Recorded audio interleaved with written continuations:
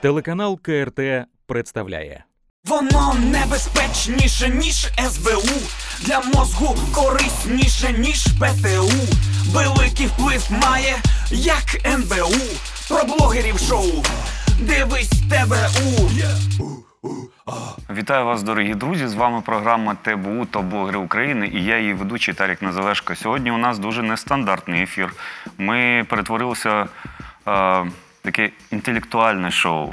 Бо у нас в гостях сьогодні е, Дмитро Джангіров. Вітаю вас. Доброго дня. Е, Сьогодні хотілося б поговорити про е, наступне. Знаєте, кожне травня ми дізнаємося щось цікаве, е, щось нове. І е, в цьому році ми теж е, дізналися, що ну, існують єврейські дивізії. Це сказав нам е, пан Карасьов, а також пан Пальчевський. І хотілося б про це е, дізнатися у вас. Яка ваша думка стосовно того, що ми почули на телеканалах наших? Вы понимаете, м- мнения быть не может по этому вопросу. Есть факт. Ну, мы как действительно живем в каком-то мире, где говорят, вот, э, говорят какую-то, ну, м, я очень мягко выражусь, небылицу, чтобы не назвать это иначе. А потом у людей спрашивают, а вот какое ваше мнение? А надо две точки узнать мнение, как может быть по поводу фигни две точки зрения, если это фигня. Значит, смотрите, вообще а, значит, э, у нас э, буревестником или предвестником появления еврейских дивизий это была газета «Сельские вести», э, 2002 или 2003 год, я сейчас точно не скажу. Там была статья о том, как а, в Украину вместе с э, гитлеровской армией вторглось 400 тысяч еврейских эсэсовцев. А, Значит, ну, должен сказать, что да, ну тогда было все-таки возмущение общественности. Мороз, которого эта газета поддерживала, был вынужден как-то там оправдываться, объяснять, что это повод для дискуссии, что он там, может быть, это и не разделяет. Ну, в общем, как-то люди хотя бы как-то это смущались, а кто-то возмущался. А, в общем-то, и э, что интересно, что э, для того существа, которое это написало, в общем-то, последствий нет. Сейчас его а, сын этого существа, прекрасно депутат э, от э, «Слуги народа», от Стольного града Киева, мажоритарщик, э, так сказать. э, Ну, ми можемо порадіти за нього. да, ну вот, там сказать, во время заседания вызывает э, проституток, слава богу, он там не пишет, что вот там еврея к ему не присылать. То есть, ну, сын, возможно, в этом плане интернационалист. Но тогда это было. Сейчас, вы знаете, уже люди готовы скушать все, что угодно. Давайте первое. Я вам могу сказать, откуда первоисточник этого всего. Действительно было такое исследование. Оно называлось «Еврейские солдаты Гитлера». А, и в нем называлась цифра 150 тысяч. О чем шла речь? Первое. А, Это было название уже книги по поводу исследования. Название было хайповое. Почему хайповое? Речь в нем шла не о евреях в армии Гитлера, а о так называемых Мишленге первой и второй категории, о полу и четверть евреях, которые воевали так сказать, в гитлеровской армии, у которых были ограничения по росту служебному, были определенная там дискриминация, ну, для, для второй категории небольшая, для первой больше, была возможность ариизации, в том числе и посмертной ариизации до какого-то момента, где-то до 44 года, если героически гиб в бою, то ариизация означала, что его дети становятся арийцами, независимо от того, так сказать, какая, какой у них процент э, еврейской крови. А в у- к тому исследованию, да, его, так сказать, даже э, в Иерусалиме, так сказать, разбирали и сказали, что претензий к нему как таковому нет, кроме чего. А там э, статистически вдвое увеличено, потому что цифру надо статистическую было по, по поколению делить на двое, женщин не призывали в армию. То есть 75, согласны, что 75 тысяч это верхняя оценка полу и четверть евреев, воевавших в э, гитлеровской э, армии. И, но, но, скорее всего, эта цифра в 2-3 раза была ниже, потому что все равно старались не призывать, брать их на други, другого вида работы тыловые. То есть, ну вот, то есть история известна, э, так сказать, во всем. Да, было у книги там э, громкое название. Значит, а другая, есть другая цифра. Значит, Советский Союз был, конечно, так сказать, были некие э, нюансы, скажем так, мягко говоря, странности.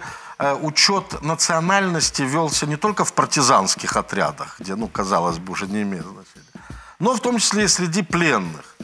А по официальной статистике в плен взято 10 тысяч пленных, плен, кто записался евреями. Но, во-первых, мы понимаем, что часть полу и четверть евреев под пропагандой, будучи под влиянием пропаганды, что Советский Союз это жидо-большевистская страна, назывались евреями, думая, что если они попадут в руки комиссару Слуцкому, им как-то это попустит. Хотя я думаю, что комиссару Слуцкому скорее бы попускал бы еврея, э, немцам, чем вот человеку, который называет себя евреем в гитлеровской армии. Но я же говорю, речь шла а, не о евреях стопроцентных. По Нюрнбергским законам евреем считался человек, у которого три из четырех бабушек или девушек, дедушек являются евреями. Таковых, может быть, были люди, скрывшие свое происхождение. Но евреи воевали только в финской армии. Там была даже походная синагога. И даже в день, когда подписал мирный договор, Финляндия, Маннергейм, в числе прочего, посетил и в Хельсинки, и синагогу, обращаясь ко всем гражданам Финляндии, ко всем солдатам в Финляндии. Вот это известно. Медицинские работники, евреи, были в румынской армии сказать, э, какое-то э, время.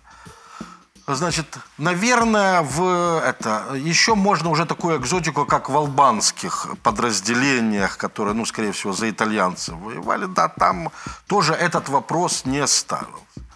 Но в ц... и, как бы, естественно, были евреи в шуц-полиции служили. Это охрана гетто была. Э, люди, конечно, выбравшие такое малодостойно это, так сказать, работу, ну, тоже были в польском гетто, их было две с половиной тысячи, в рижском гетто 500 человек, вот всего. Так сказать. За участие в Холокосте было приговорено от 12 до 15 евреев Так сказать, человек, да, даже, даже такое было. Ну, были, трошки менше, были, ніж дивізія, были, да? 12-15 человек, не тысяч я- человек. я про це- Да, было несколько человек, которые палачами в- выс- выступали. Да, так сказать, там из них большую часть э, повесили, и расстреляли, в том числе там и женщины были. Вот, вот вся история, она вся известна. Зачем придумывать то, чего не было? Зачем на кого-то что-то перекладывать? Зачем там... Мы понимаем, что это снимается вина с, с Гитлера, снимается вина там как отчасти с нацистской Германии и перекладывается часть вины на евреев. Ну, давайте мы в чем-то другом их будем уже обвинять, но только не в, в, так сказать, не, не в участии в этом, э, так сказать, в войсках э, Рейха, тем более в войсках СС. Давайте рассказывать, да, действительно, французские Ротшильды в свое время давали деньги на э, через Круппа на Фелькиша Биобахтер было. Они за это заплатили. Тот, который был самый пожилой Ротшильд, его при, после того, после оккупации э, Франции э, не, не сочли достаточно здоровым для работы, он отправился. Ну, я считаю, что не в газовую камеру, а в ров, в ров расстрельный. Так сказать. Ну, это, опять же, это не имеет какого-то значения к нашему описанию. Поэтому как это настало время историй, так сказать, каких-то там так сказать, Історії- одури- одурительных. Історії, історії, які змінять історію. Да? Загалом зараз от 9 травня я просто так спостерігаю за е, такою еволюцією. З кожним роком щось у нас якось ми віддаляємось від цього свята. І навіть в цьому році святкували у нас ну, на пострадянському просторі тільки Білорусія і Туркменістан. Е, Провели безпосередньо парад перемоги. Е, Росія не провела цей парад. Не провела. Хоча а чому? От чому? От, Ну, я вас питаю, а ви не знаєте? Ну я так розумію, що перш за все вони дуже турбуються за здоров'я життя своїх громадян. А друге за усе? А друге за все, я хотів би почути від вас. Я думаю, що е, чисто з політичних міркувань, чисто через е, коронавірус, тому що е, дійсно вона не дуже контрольована ця пандемія зараз. В Росії теж вони вирішили не ризикувати. Вони інші заходи зробили. Але я думаю, що вони будуть е, відмічати вже закінчення Другої світової війни у вересні, в 2 чи 3 вересня, як вже там будуть рахувати. Что касается истории к 9 мая, но опять приходят люди, называющие себя историками, и, э, так сказать, хотя, видимо, современный украинский историк, я думаю, ключевое слово «современный», да. А, так сказать, на самом деле, опять же, ну, любой, кто хочет разобраться, реально хочет ну, известно, почему в Советском Союзе, а потом уже и в, союз, ну, в союзных республиках, и уже в странах постсоветского пространства, почему 9 мая проводят. Не потому, что было подписано там в ноль сколько-то ночи с 8 на 9. В Германии это было 8 мая. Дело в том, что уже вот, вот в этом документе о праздновании Дня Победы, то есть какой день, день первый день мира, это было написано в документе. Днем Победы считается первый день мира. Первый день мира, 9 мая. Он отмечался как выходной 46-47, вот я боюсь соврать, в 48-м ли, по-моему, только 46-47, и потом уже 65-го с 20-й годовщины. А да. чому така пауза велика була? Ну, я думаю, что считали, что работать надо. Не до праздников было. День, отме- день отмечался как День Победы, но это не был Ну це за часи Брежнєва, я так розумію. уже Почали Бре- знов, святкувати. это с Брежнева, вот фильм «Белорусский вокзал», вот к- кто эпохи.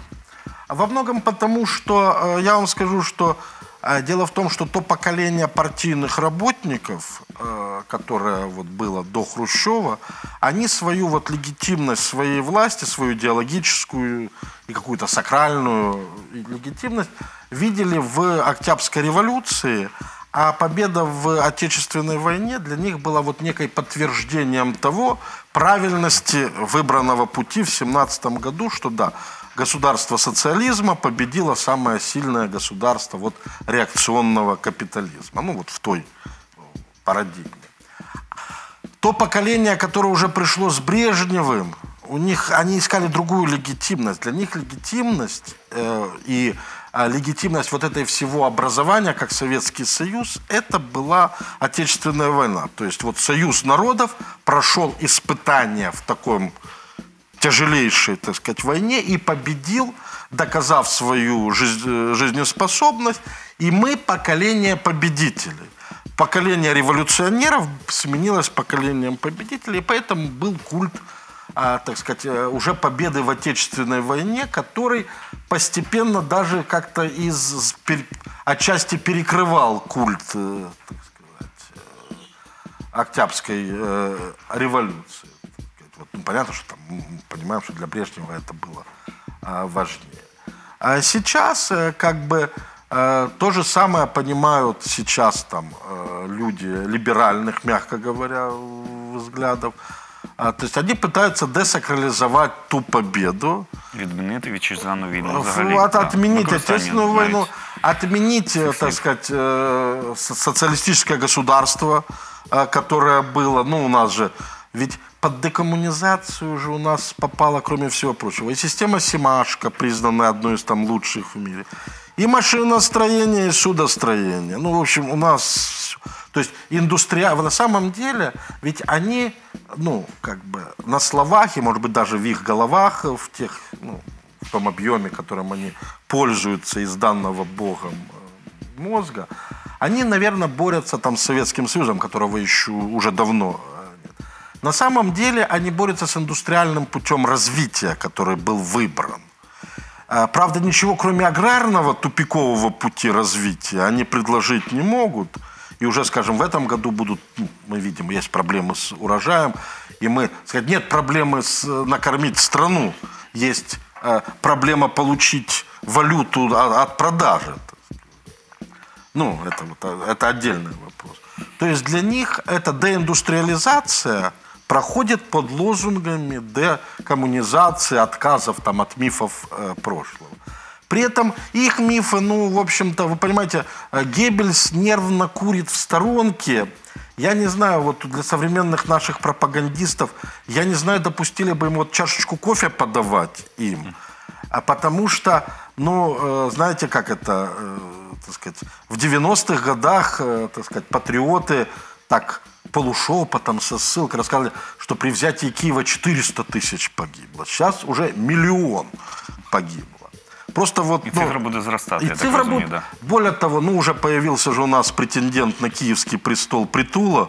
Он же там рассказывает, как Ватутин превратил, так сказать, ос- освободитель Киева, Днепр превратил в кладбище. Я вам хочу сказать, что вот просто для пони- ну, Притуле только не говорите, это Притул, он все равно этого не примет. Во-первых, это была даже не фронтовая операция, это была армейская так называемая операция в зоне действия определенной армии. При, конечно, при взаимодействии с силами фронта. Потом, чтобы понимать, фронт в момент формирования или пополнения составлял Советский фронт, вот украинские фронты во всяком случае, 750 тысяч человек. Всех, включая, грубо говоря, писарей, это медицинская и вот всех-всех-всех. А 400, например, тысяч погибших, ч- что такое 400 тысяч погибших? 400 тысяч погибших, это означает, умножьте на 4, еще один к трем раненых, миллион шестьсот. Ну, то есть это два фронта с лишним, полным составом, которые выбыли из, э, так сказать, военных действий. Я вважаю, все рівно цих, цієї аргументації не буде достатньо Правильно. цим людям. Ну, да. При взятии Киева, при операции, вот этой десятидневной, она считается, если не ошибаюсь, с 3 по 13 мая вся вот эта киевская операция, так сказать, а, погибло менее пяти тысяч с- советских солдат. Это вообще считается одной из образцовых операций. Переброска Ватутиным, э, так сказать, с плацдарма на плацдарм скрытно, так сказать, войск, это вообще, оно как бы в мировую вошло историю, так сказать, военного искусства. Но вот он превратил Днепр в кладбище. Ну, правда, никого оттуда не подняли такого количества трупов. Более того, в районе Киева никто и не форсировал-то Днепр. -то. Ну, а- его, так сказать, обошли с двух сторон. Более того, за сам Киев это был арьергардный бой. Группировка немецкая была охвачена с двух сторон и была вынуждена отходить. В Киеве были арьергардные бои. То есть не- э, оставленные немецкие заслоны пытались остан- приостановить, чтобы вышла основная гру- группировка. Но с большими потерями, но она, так сказать, вышла, но Киев был, э, э, так сказать, освобожден. В общем-то, ну, понимаете, а что-то обсуждать, все известно. Более того, есть документы и союзников, есть история союзников. Но можно же все придумывать.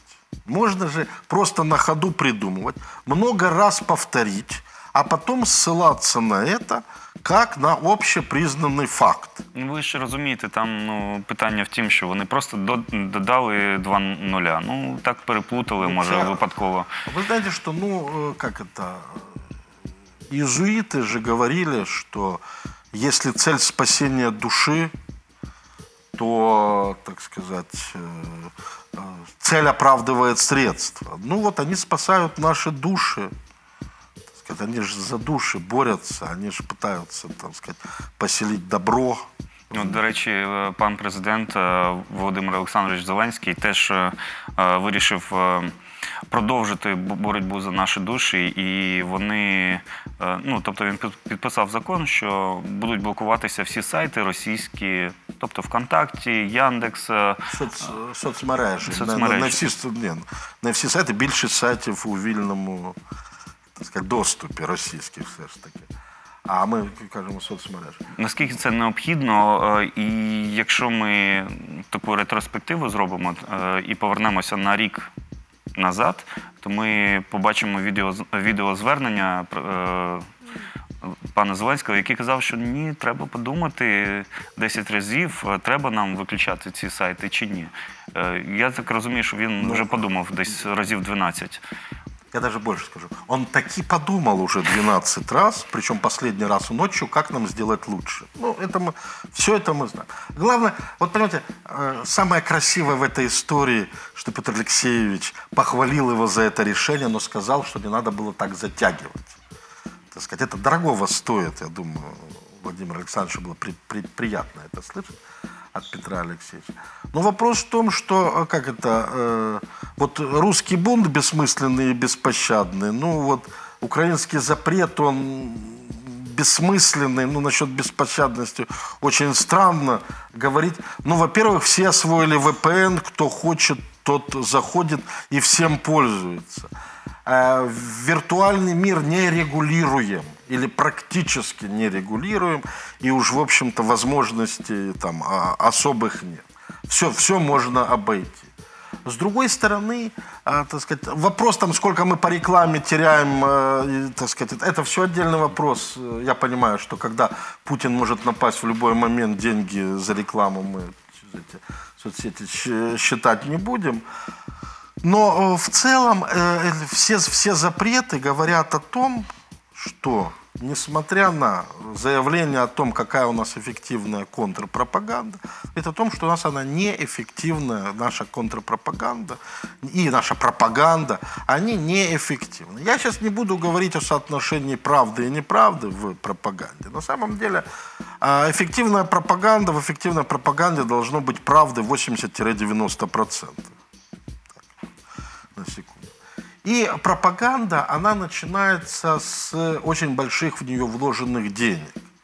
У нас же, так сказать, мы идем по пути такому, что 90%, день, 90 денег, выделяемых на пропаганду или про контрпропаганду, идет хрен знает куда, а на оставшие 10% хрен знает кто, и хрен знает как занимаются пропагандой и контрпропагандой. Поэтому даже если мы вот в этой сфере, в терминах пропаганды, можно, можно обсуждать информационное пространство украинское, российское, и вот это пересекающееся, можно в терминах пропаганды и контрпропаганды.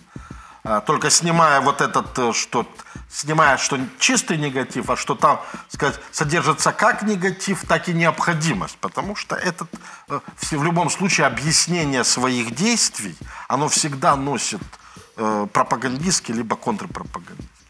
Ну, просто это, так сказать, а, просто у нас в этой сфере украдено больше денег. И в большей степени опираются на знакомых, чем на людей э, толковых.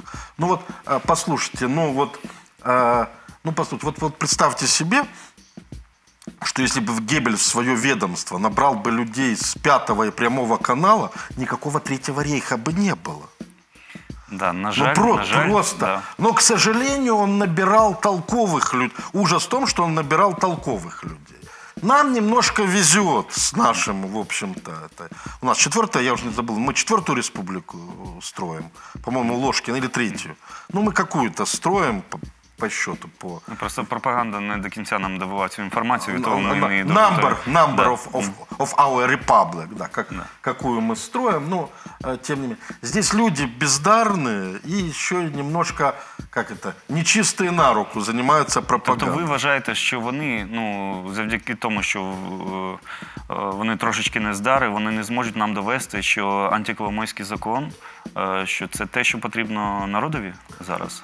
А, вы знаете что, э, надо, вот посмотрите, вот тут как раз в данном случае они поступили правильно. Они закон, который реально антибанковский, они назвали антиколомойским.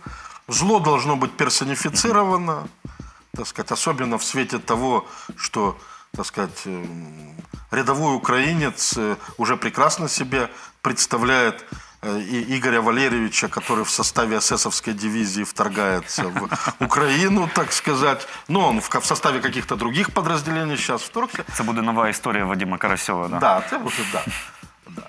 Значит, ну, тем, тем не менее, так сказать, э, этот... Э, Коломойский это зло, он богатый человек, рейдер, банкир, ну и еще и есть, так сказать, не те у него гены, и, и наверное, еще не те чебурашки у него кроме генов. Но тем не менее. На самом деле, что в этом законе самого страшного? Вот, подожди, давайте его разделим, чтобы было важно. Приват ни в коем случае нельзя было возвращать Коломойскому, потому что это коррупционная схема, за которую должны сесть. Порошенко, Гройсман, Гонтарева, Коломойский, Боголюбов и еще несколько людей, готовивших документы. Там, ну, следствие бы это, следствие быстро установило бы, в общем-то, при желании, при желании установить, кто еще причастен. И это очень дорогая э, коррупционная схема, которая и была, заключалась в том, что Коломойский в конце концов может отбить свой банк. Чтобы вы в этом не сомневались, что на самом деле, вот ужас в том, что документы были составлены так, что закон на стороне, украинский закон на стороне Коломойского. Как бы это не политкорректно бы не, не, не, не звучало бы, да. И тот факт, что действительно по закону и жена Боголюбова, и Суркис, и другие компании выигрывали дела у э, против уже государственного приватбанка по возврату своих денег, хотя как изначально как аффилированные лица, они не должны были их получить, оно говорило о том, что и Коломойский может получить, это ну косвенные свидетельства того. Но возвращать нельзя было ни в коем случае, для этого надо было провести следствие. Следствие они провести не захотели. Следующий, это плохой вариант, это, это хороший вариант. Плохой вариант. Принять ad по случаю закон в отношении приватбанка. Это очень плохо, но это в сто раз лучше, чем то, что они сделали. Для того, чтобы не возвращать банк Коломойскому. Да, он там должен что-то получить компенсацию, он там может так посчитать, что еще и Беня останется. На самом деле, ну, Собі важко це уявити, щоб да. Олег Валерійович залишився комусь винний. Ну, тем, тем не менее. Ну, подождите, в Штатах гоняют его, и в Британии в судах-то гоняют. Они просто не знают, насколько Беня великий и ужасный, поэтому его... Ну, там не, не працює один плюс один, ну, да, на жаль. Да, да, ви знаєте. Ну. Не, не працює. Так вот, они приняли закон, которым вывели регулятора, причем не просто регулятора, а независимого регулятора НБУ из-под действия судебной системы. А понимаете, это слово, которым это можно описать, у него со словом «кризис» совпадает «з» в середине только. То, что они утворили. Они, так сказать, ну, то есть некая крайняя вообще, так сказать. Мы понимаем, что есть под этой внешние бенефициары, потому что, ну, не секрет, что наш НБУ независим только от нашего там правительства и президента. Кому он подконтролен, мы понимаем. То есть теперь от группы людей зависит, объявлять платежеспособным банк не объявлять, отбирать лицензию, дробь лицензии не отбирать. Вводить временную администрацию, не вводить. Во-первых, система стала более коррупционной, потому что она никак не регулируется теперь законом. Более того, в законе записано, что если остались законы, ну я утрирую чуть-чуть, если остались законы, которыми, так сказать, э, по которым можно куда-то подавать в суд, то все они там типа отменяются. Хотя, послушайте, все равно... Это найдут... держава в державе, получается. Да. Нет, послушайте, все равно найдут возможности судиться, потому что можно а, судиться за нанесенный ущерб, например. Ну, можно искать, но это уже экзотика. Главное, что, а самое главное, что НБУ никакой уже ответственности не несет. Может быть, кто-то сумеет как-то что-то там вырвать. Никакой ответственности люди ни как люди, ни как коллективный коллегиальный орган, они уже ни за что не несут. Поэтому, понимаете, есть э, такая... Ну, це буде працювати, мається на увазі з цього часу, як закон прийнятий, чи е, там пані Гонтарєва вже може повертатися додому вот і будувати, момент, будувати вот свої будинки, які момент. згоріли? А дела по приват и дела по привату были раньше, начались и они в судах. Как будут здесь рассматривать, тоже интересный момент. Как они запустят именно в отношении привата зад, задний ход. А, так сказать. Это, ну, получится. Давайте посмотрим. Мы знаем, что Игорь Валерьевич так просто не, не сдастся, так сказать, и будет бороться, тем более у него, а, так сказать, проигрыш по привату ухудшает его ситуацию и в, и в британских судах, и особенно в Денверском э, а, извините, в Делаверском, в Делаверском канцлерском суде. Канцлерском просто не надо пугаться слова канцлер, дословно это э, э Делаверский судейский суд, так сказать, если масло масляное. Масло масляное, ну у них это канцлер называется. Судят судьи, а не присяжные. В нескольких штатах осталась такая инстанция, она считается неким таким архаизмом канцлерский суд, но тем не менее она существует, и туда подал Приватбанк уже как этот, э, как государственный банк. И там Игоря Валерьевича со своими подельниками, как украинскими, так и американскими, судят по закону РИКа, противодействие рэкету и коррупции, отмы... Э, рэкету и отмыванию денег. И там очень широкое толкование преступного сообщества. Он был против мафии вообще, этот заточен исторически против итальянской, но потом его распространили и на другие преступные сообщества. И, в общем-то, тот факт, что Игорь Валерьевич э, с какими-то людьми собирался, не надо доказывать, что, э, что они там вели разговоры о том, что вот как бы сделать Америке плохо или как бы отмыть деньги.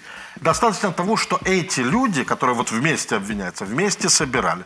Значит, они предполагается, что они э, действуют презумпция того, что они составляли сообщество преступное. И уже вы должны доказывать, что это не было сообщество, а мы, извиняюсь, в баню собирались в нарды поиграть. Цікаве, в цікаве положення попав е, е, Олег Валерійович, як на Україні, так і в Сполучених Штатах. Ми можемо тільки побажати йому успіху. В принципі, всім успіху, як ви завжди Обом, обом бокам Да. Цієї суперечки бажаємо успіху.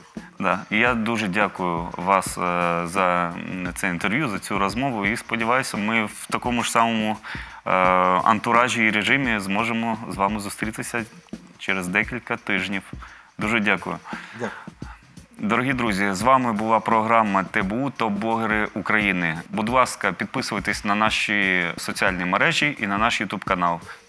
Всього вам найкращого, Па-па. Воно небезпечніше, ніж СБУ. Для мозгу корисніше, ніж ПТУ. Великий вплив має, як НБУ. Про блогерів шоу. Дивись ТБУ.